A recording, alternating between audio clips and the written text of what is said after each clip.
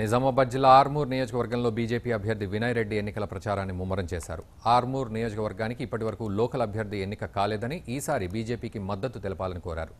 మక్లూర్ మండలం కొత్తపల్లి చిక్లీ గ్రామాల్లో స్థానిక సమస్యలు అడిగి తెలుసుకున్నారు. ఎమ్మెల్యేగా గెలిచాక అన్ని సమస్యలు పరిష్కరిస్తానని హామీ ఇచ్చారు.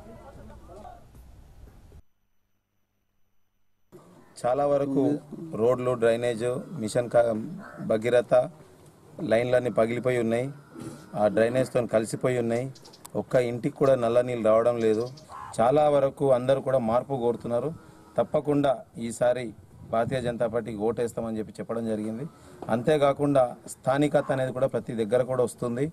ఈ ఆర్మూర్ ప్రాంతానికి గతంలో ఎంతమంది ఎమ్మెల్యేలు అయినరు అందరూ కూడా బయట వాళ్ళే అయినరు. ఈసారి తప్పకుండా మన ఆర్మూర్ ప్రాంతం వాళ్ళే ఉండాలా?